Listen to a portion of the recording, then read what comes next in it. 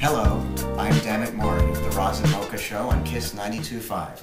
Welcome to a new segment I'd like to call Rice with Rice. This is Tim Rice, the very famed songwriter Tim Rice. Welcome to the first edition of Rice on Rice. Thank you very much. Was it Rice with Rice? I don't know. I think we're still we're still hope it's a perfecting the name. Let's hope it's a series. Well, then you got to keep coming back for more Absolutely. rice. There's your rice. Thank you. So you're back in Toronto because you've been here before. I haven't you? have, yeah, I've been about four times before. Now we're uh, talking about the play Chess. This was, uh, I guess, you did this in was it 1984? We did the album, me, Bjorn, and Benny, the ABBA lads. Um, we did the album in 1984. Well, we were working on it for two years, but it came out in 84. And they are the bees in ABBA. They are the bees in ABBA, Benny, Och, Bjorn. And now it's back again. Are you ever shocked when something you've worked on comes back this many years later and people flock to see it? Yes. I mean, this one hasn't, in a way, hasn't gone away. It's been, it's been done ever since it opened in London on the stage in 86. It's been done somewhere. There are always productions popping up somewhere. So um, some of them are good, some of them are not so good. And this one has turned out to be rather successful. And it was a tour of the UK in, um, well, last year, 2010, through to 2011. And because it did rather well, we brought it to Toronto.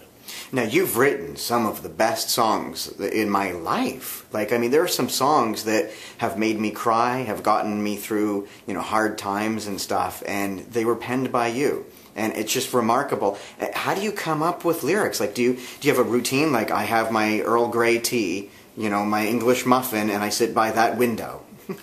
Well, I have my rhyming dictionary, um, and uh, basically most of the songs I've written. Well, firstly, one has to say I only write the words, so it's 50-50. You know, I often get inspired by a great tune, but the key thing for most of the songs I've written, which mainly come out of films or shows, it's the storyline, it's the plot. So it's quite a plus when you think of a song like "Don't Cry for Me, Argentina." If if I sat down with um, Andrew and say, "Let's write a song," and we didn't have a show, it was just a pop song we were going to write, we never would have come up with something like "Don't Cry for Me, Argentina" in either department, music or lyrics. But because it was a very important part of a story we were telling, viz., if the tale of Eva Peron, it then the whole thrust of the storyline of the song became Don't Cry for Me Argentina. I was writing something that nobody'd really written about mm-hmm. before. It wasn't just a straightforward love song. And that's why it worked. What we never envisaged with that particular song, why am I plugging Evita?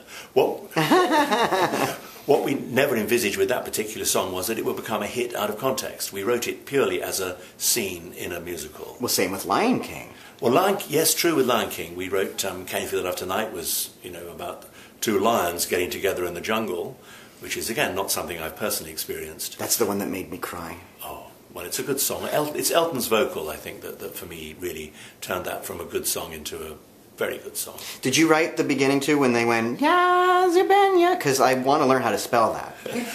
Unfortunately, I didn't. that was written by Lebo M, very, very talented um, writer, songwriter, and composer um, from South Africa. And the flavouring, um, the African flavouring of The Lion King was, was, was put in by Lebo M and by Hans Zimmer, the great film um, orchestrator and arranger. But basically, Elton and I wrote these songs which had to fit situations. I Can't Wait to Be King. Again, that's not something you'd write out of, out of No, context. well. Um, Hakuna Matata. I mean, that was a fun song to do, but I never would have thought of taking a Swahili phrase for a song unless it had been inspired by a bigger concept, viz. the, um, the, the storyline of the film. So um, when you ask me, how do I write lyrics, what, what gets me going, it's 90% of the time, it's, it's, it's the story, the situation of the characters, whether they be a warthog with wind problems or an Argentine dictator's wife, you still have to have the same approach, make the lyrics plausible for that character within that situation. This is Rice with Rice. I'm Maurie. This is Tim Rice, and this is Kiss 92.5. When you're listening to songs on the radio, like Lady Gaga or something like that, and you, because obviously you're a lyricist, so you listen to the lyrics where most would listen to the music. Are you ever like, Really? Oh, no, my God. Well, I And do, be honest. This is rice with rice. I don't follow the current popular scene as closely as I did. I mean, anything from 1956 to 1981, I'm pretty good on. After that, I'm struggling a little bit. Lady Gaga, I like what I've heard of her stuff, and I've heard quite a bit of it. I particularly like her current song, You and I, which Oh, actually references Jesus Christ.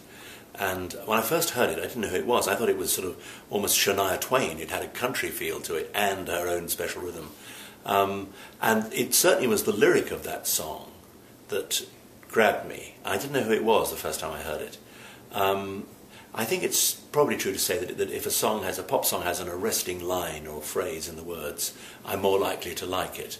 When I was a kid, very young, and Elvis was king and all was right with the world, um, the songs that I really thought were, you know, grabbed me were songs with great lyrics like Jailhouse Rock. That's a wonderful lyric. Um, Or the Beatles. um, Buddy Holly, um, Eddie Cochran. This is pre-Beatles I'm talking about. Um, the Beatles, of course, wrote wonderful songs in both lyrical and, and musical departments. I mean, all I'm saying is, is that that uh, perhaps slightly unusually, even in even in my very young days, I found myself attracted to the words as much as to the music. Okay, before we have some fun, because I don't want to lose, I want to have some fun at the end. More fun than we're More already fun. having. I'm going to say, how can we have more fun than this? Well, wait, you'll find out. um, chess. It's uh, Chess. here at the uh, the Princess of Wales Theatre. Right. Um, why should people go and check this out?